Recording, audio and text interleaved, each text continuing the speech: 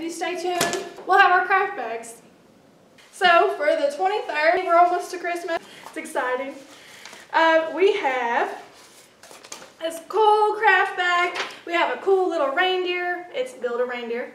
You can put your reindeer together. We have this cool sticker that Heather helped me cut out. Believe! You have to believe!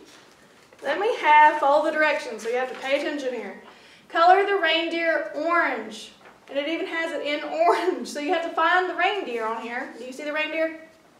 Yep. There's a reindeer, you got to color in orange, and there's other colors for the other items on that page. And then we have light bulbs. So if it's red, you color it red. If it says yellow, you color it yellow. Just follow the directions. And then we have, it goes with our sticker, I believe bell. So you have to color the bell, make it all cute and pretty. Now we have Build a Snowman. Most of you know who this is. Do you know who it is?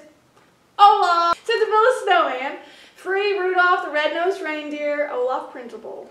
So you get to color him if you want to. You don't have to. You just put them together. So he's going to look like Rudolph.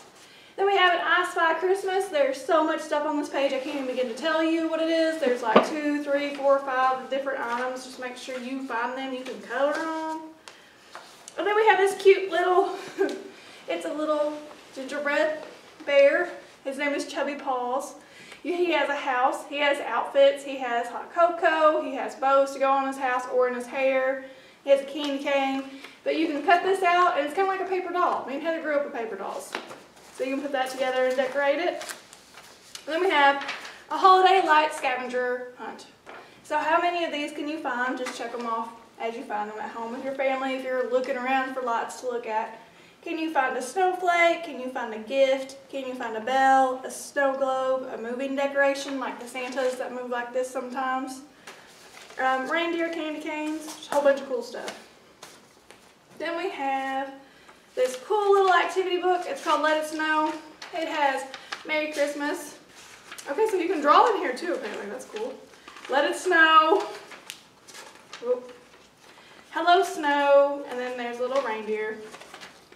Then you get a cool bookmark that you can color. It's got like snow decorations or ornaments.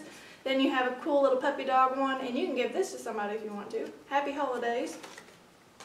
Then, this is your last thing you have. It is a big white sheet of snow. And with the snow, you get all of these stickers for Santa's Village to put on there and decorate. That's a lot of stickers. so make sure you have fun doing this